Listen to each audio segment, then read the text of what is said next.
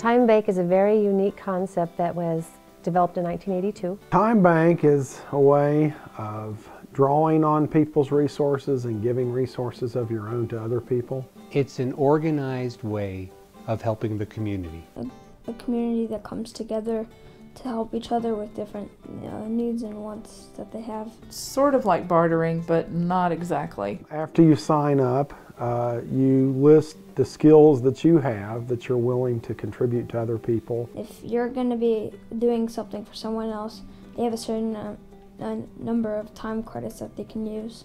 And if you do like um, one hour of work, they owe you one time credit. And you can list the things that you need help with. The people who provide that help get time credits for the time that they've spent helping you on whatever project you want. It doesn't matter if you give an, an hour of painting the fence to an hour of financial counseling. Everyone's hour is equated to one time credit.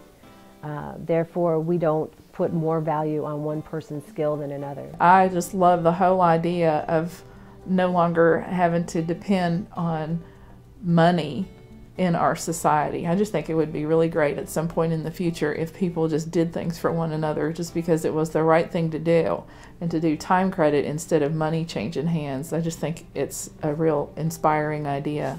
Um, money is uh, a lot more like you want it more and it's it creates more like chaos and people going crazy. Um, but time credits uh, actually help each other out. Our economy, as we are witnesses to, unfortunately today, is not working.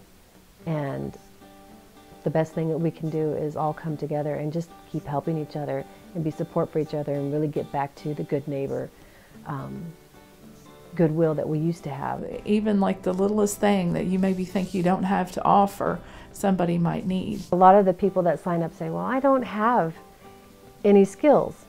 And, and that's not true because everyone has a skill.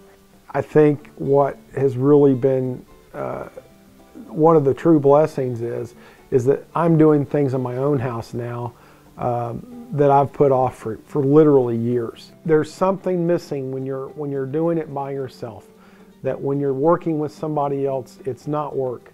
It's, it's really a lot of fun. I think even aside from the physical things that I've received, the things that I've received on an inspiration level just go so far beyond words. Um, to see the metamorphosis of the different members and how they're growing on a personal level and how they interact and how they become like an extended family, that is something that you cannot put any monetary value on. Or, you know, it's, I guess you could say it's, it's the best benefit anyone could ever receive. I'm very inspired by the interdependence and how we can achieve so much more collectively than individually. You know, when we first grow up, we're dependent, then we learn how to be independent souls. But to be truly interdependent allows us to be effective, efficient, and, and help as many people as we possibly can. It's not just here in Kentucky. It's in 48 states and 40 countries, and if you start adding up all the members, that's a lot of members. And that's a lot of people to network with. And so if you think of the power of going online and networking with somebody in Australia, say, hey, I'm coming to, to down under into Australia and I need a ride from the airport and you can hook up with another time maker there who will pick you up at the airport and take you to your hotel. It doesn't get any better than that. If you love to volunteer, if you love to do things for other people, then this is the group for you and it doesn't hurt to get something back.